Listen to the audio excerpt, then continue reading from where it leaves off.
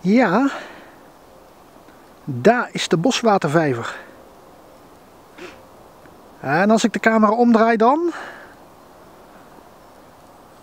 zien jullie daar een hele hoge berg die recht omhoog loopt.